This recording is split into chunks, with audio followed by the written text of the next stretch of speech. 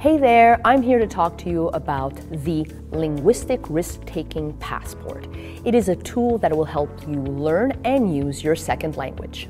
With this passport, you'll be able to improve your skills while having fun and discover that you can use your second language almost anywhere and anytime.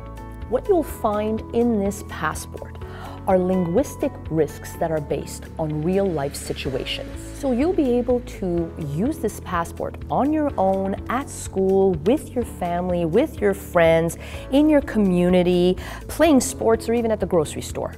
When you open your passport to page four, you will see the rules of engagement, where it clearly explains how to use this passport.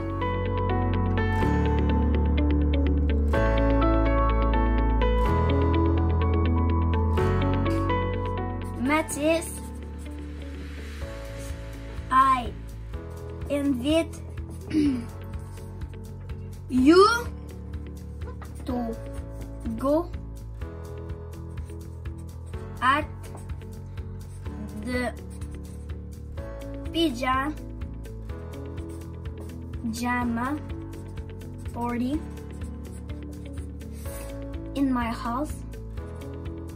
Each linguistic risk can be done up to three times, and each time it is done, you circle the level of difficulty of risk taking.